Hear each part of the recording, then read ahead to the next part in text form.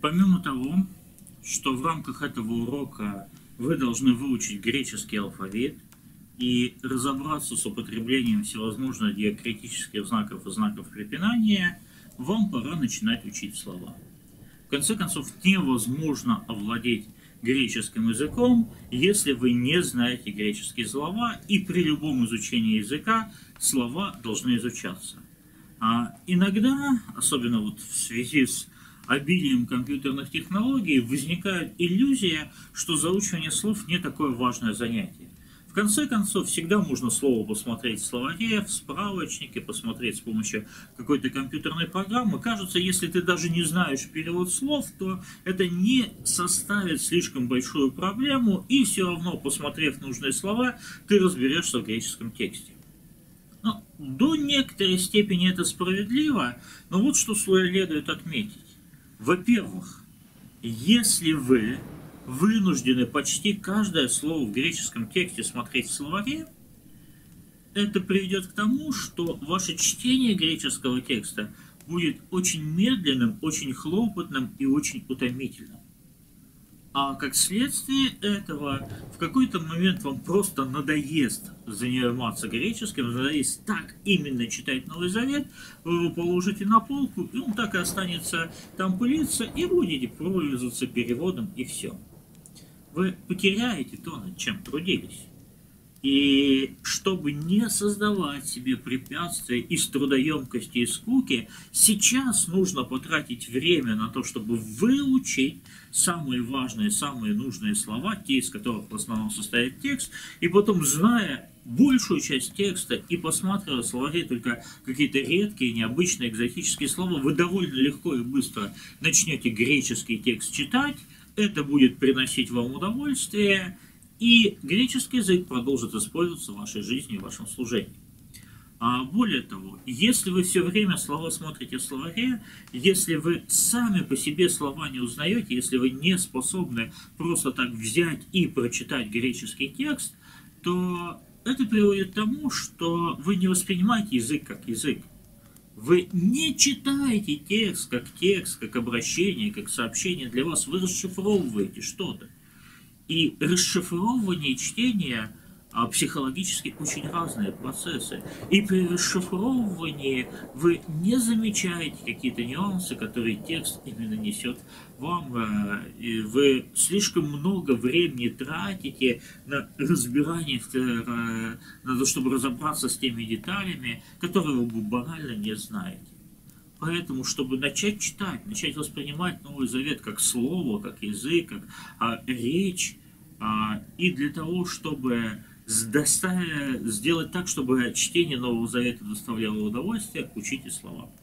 Но в каждом уроке есть такой раздел «Лексический минимум». Те слова, которые нужно заучивать. А для каждого слова в лексическом минимуме дано несколько переводов, иногда один, иногда несколько переводов, а, сразу нужно оговориться вот о чем. Переводы, которые даны для слова, это самые типичные, самые распространенные переводы данного слова.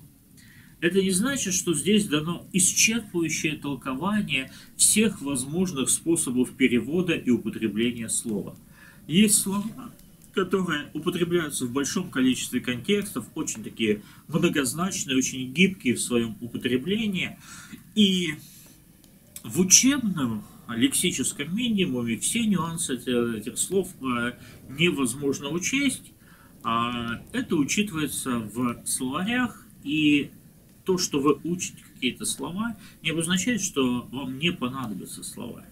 А в важных ситуациях для толкования, или когда вы чувствуете, что знакомое вам значение слова как-то не очень уместно и не очень подходит к контексту, пожалуйста, обращайтесь к словарям. Со временем, работая с греческим текстом, приобретая какой-то опыт, со временем, пользуясь периодически словарями, вы сформируете гораздо более полную картину слова, чем те несколько значений, которые вам даны сейчас в лексическом минимуме. Но это та хорошая база, от которой нужно оттолкнуться, чтобы двигаться дальше. Поэтому не считайте, что вы вообще все знаете про слово, но, по крайней мере, самые основные сведения в лексическом минимуме постарались для вас сосредоточить. Если говорить об оформлении лексического минимума в данном учебнике, то здесь есть несколько нюансов, а, на которые стоит обратить внимание, чтобы они не создавали вам проблем. Посмотрите на самое первое слово «ангелос». Ангел, посланник, вестник. А в скобочках а, после этого слова стоит цифра 175. Это количество употреблений данного слова в Новом Завете. То есть слово «ангелы» 175 раз встречается в Новом Завете. Глядя на эту цифру, вы можете как-то прочувствовать значимость того, что вы знаете это слово. А еще после слова «ангелос» а, с черточкой написан «у», запятая «хо». Что это такое? А после существительных традиционно пишется окончание родительного падежа. Ангелос дано в форме именительного падежа единственного числа ангел, но после этого написано, какое бы окончание это слово имело в родительном падеже ангела.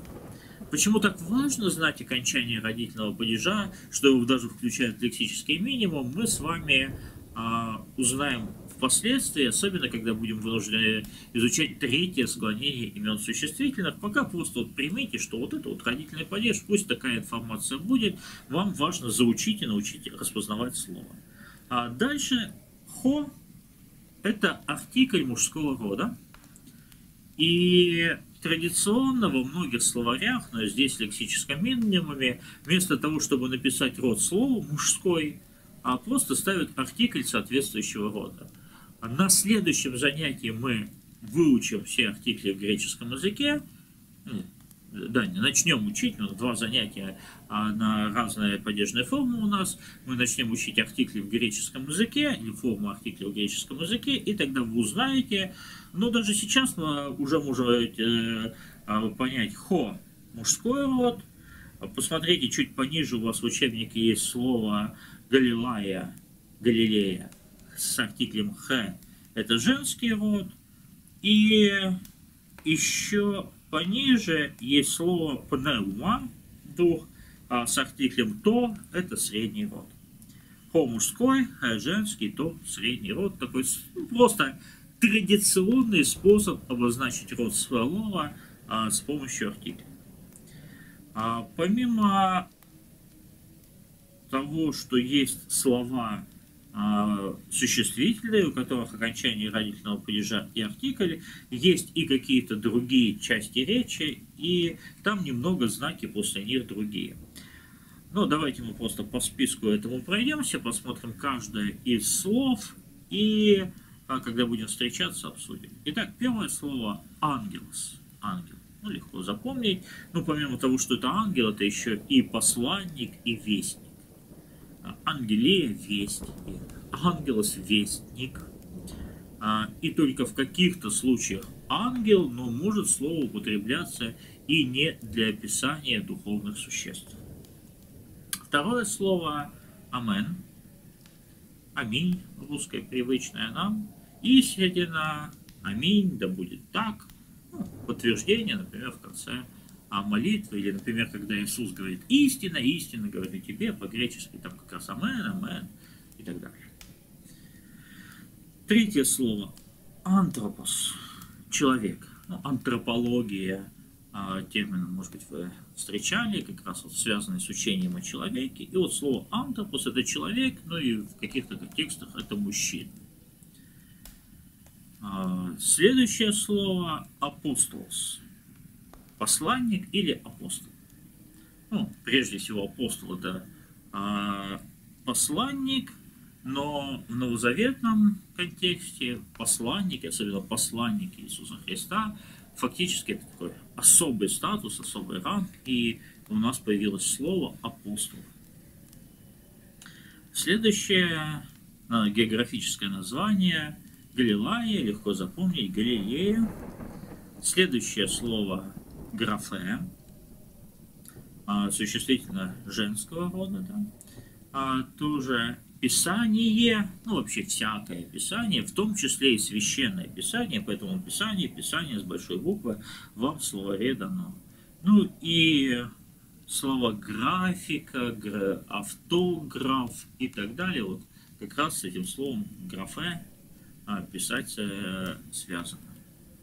Следующее слово докса, слава, дексология, словословие, или есть такое слово ортодоксальный. Ортос прямой правильный, докса слава, поэтому ортодоксия, да, православие, ортодоксальный, православный. Эго, я, и отсюда эгоизм. Эсхатос, последний, и отсюда слово эсхатология, учение о последнем времени. Зоэ, жизнь. А, ну, с этим словом связано слово зоология, зоопарк.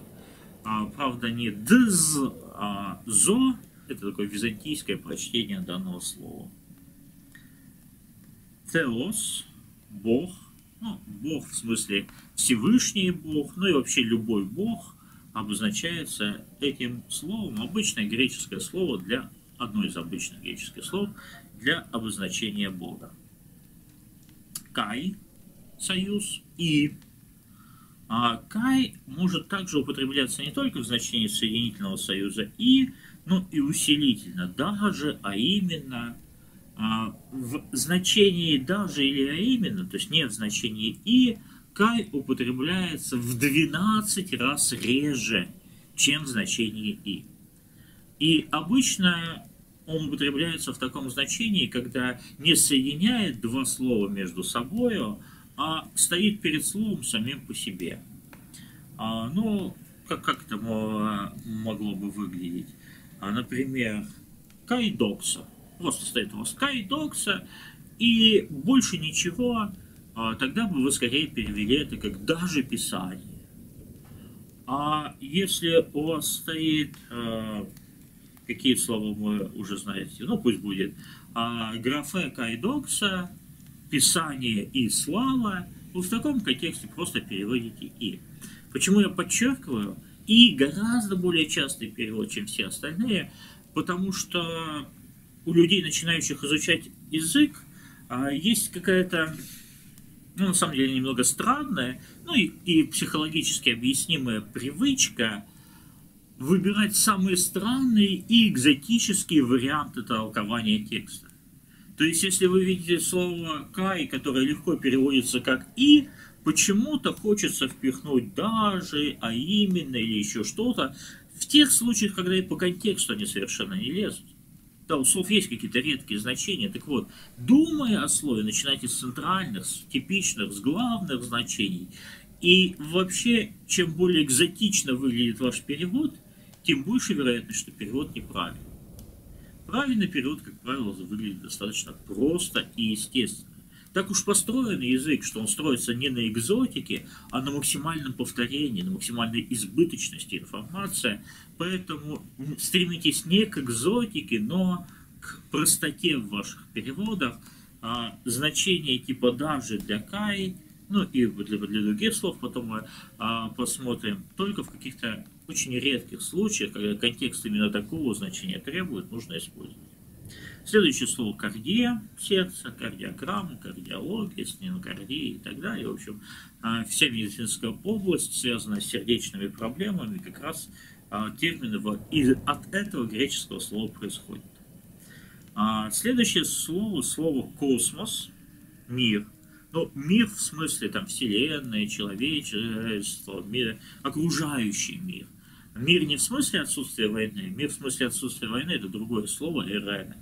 Когда-то в русском языке было два слова – мир и мир. Мир, писавшийся через «и», и мир, писавшийся через «и» с точкой.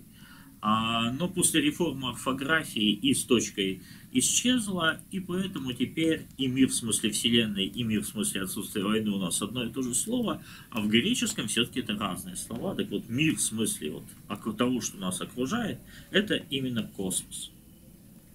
Следующее слово «логос».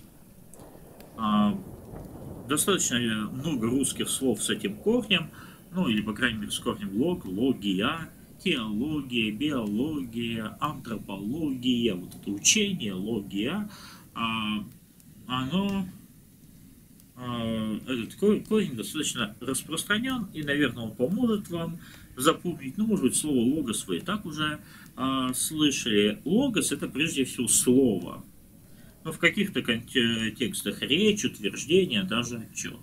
И далее слово, далее отчет о чем-то.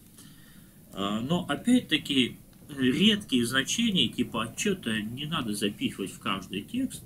Начинайте с простого значения слова, ну и потом смотрите, требует ли контекст чего-то иного. Следующее слово пневма. Это дух, ну вообще дух любого рода. Это дух святой, тем же самым словом обозначается. Это дыхание, это ветер. А, вообще, Забавно, что в, и в еврейском языке руах а, связан как раз с дыханием, с ветром, с духом, и в греческом языке пневму, дыхание, а, дух, ветер, даже в русском а, дух, дыхание тоже однокоренные слова и такие кстати, пневмо, да, такое вот звукоподражательное немного слово, видимо, по своему происхождению. Но, тем не менее, встретив слово пневма, вы должны будете толковать, о каком духе идет речь. А следующее слово профетес, пророк. А, пророк, профетический иногда такой термин существует, хотя он не очень распространен, может быть, он вам поможет как-то запомнить это слово. Следующее, сабатон, а, суббота, или в каких-то контекстах недели. В этом слова есть одна забавная особенность, ее нужно запомнить. Очень часто в греческих текстах вы встретите слово «суббота» во множественном числе даже там, где речь идет об одной субботе.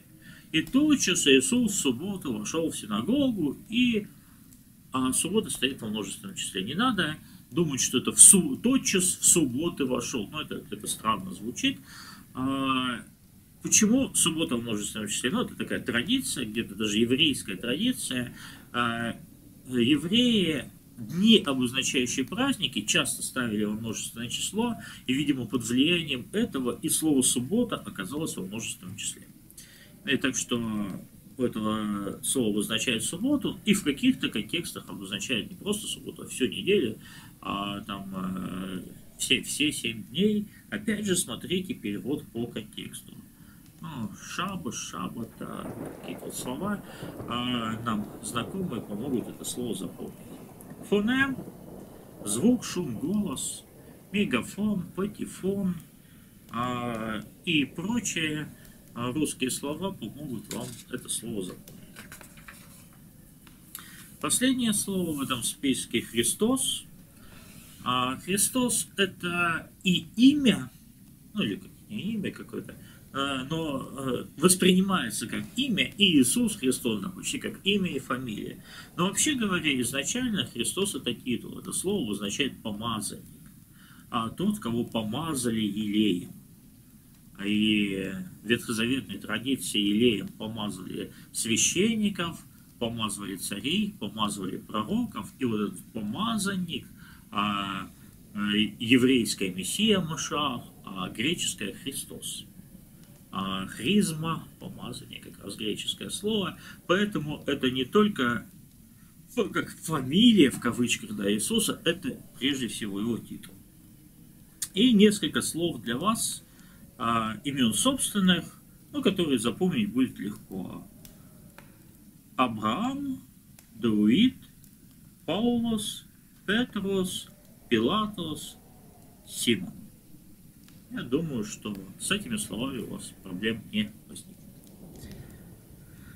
Для того, чтобы вы почувствовали, как хорош для нас русскоговорящий греческий язык, на 35-й странице вам приведено еще несколько слов, которые вам легко узнать. Хамартия – грех, а, хамартиология или граммартиология учения о грехе, ахе – начало правитель, отсюда архи, приставка архиважный, или архивариус, архитектор, архимандрит и так далее.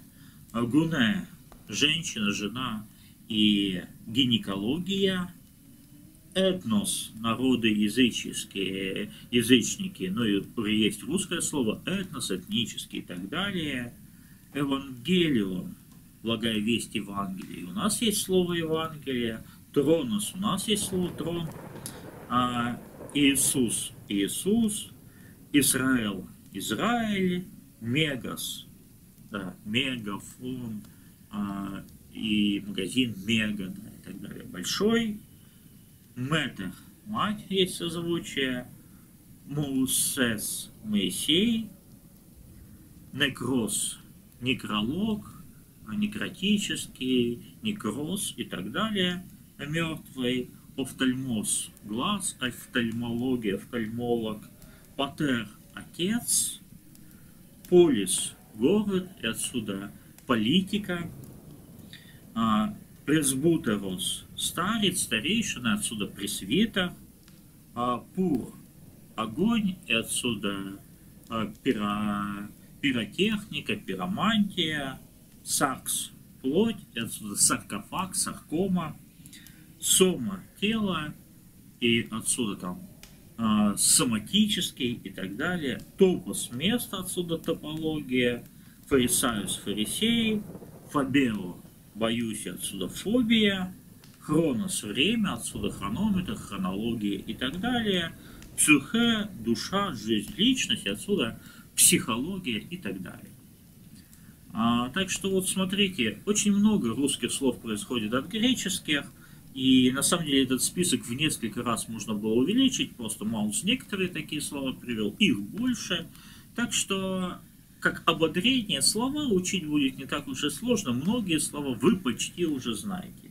Но это слова для знакомства, а те слова, которые в лексический минимум включены, 26 слов, вы должны выучить. Кстати, если вы выучите 26 этих слов, то они охватывают более 11% текста Нового Завета. То есть больше, чем каждое десятое слово в тексте Нового Завета вам станет знакомым, ну, в среднем, конечно, если эти 26 слов вы будете знать. Дальше вы сами сможете попрактиковаться в чтении греческого текста. У вас в рабочей тетради, по-моему, даже а, есть какой-то текст, в отношении которого вам сказано попрактиковаться в его прочтении. Да, это первое послание Иоанна, первая глава с пятого стиха. Кай эстин хауте хеангелия эн акекоамен апауту кай анангелумен hymin. Hoti hoteos fos estin, kai skutie en autu, uk estin udemia. Ian eipomen hoti, kai nanien ehomen, met autu, kai ento skotei, pirpatomen, pseudometa kai upoi umen, ten aletean. Ian de ento foti, pirpatomen, Hos autos estin entofotie kainanie echomen met lelonkai to haima Isultu hyl autu kateridzei humas apo pases hamartiers. Jan eipomen hoti hamartien uk echomen, heutus plonomen kai heleteia uk estin enhomin. Jan homologomen tas hamartiers homon, Pistos esten kai dikaios hina afergumin tas gemachtias kai katerisei humos apopases adikias. Jan eipomen hoti uk gemachtekomen pseuten poi omen auton kai autu ook uk estin en humin. Tekniemu, tautografo humin, χειραμε χαμάρτετε, kai ιόντις χαμάρτε, παρακλήτων έχομεν προς τον Πατέρα, Ιησούν Χριστόν δικαίων. Καί αυτός χειρασμός έστιν περί των χαμαρτίων χαμών, ου περί τεν χεμετέρων δαιμόνων, αλλά καί περί χώρου του κόσμου. Καί εν το τούτο Γενόσκομεν χωκε εγνώκαμεν αυτόν, Ιάντας εν τουλάς αυτού τερόμεν. Χολεγον χωκε έγνωκα αυτόν, Καετάς εν τουλάς αυτού με τερών, Ψέουστες έστεν καεν τούτο, Χε αλέτεε ουκέστεν. Χως δε αν τερέ αυτού τον λόγαν, Αλλά τος PPOE Voltaire. En tuto genoskomen hoti en auto esmen kolegon ho auto mene ofilei katos ekinos peripatesei kai autos hotos peripatein.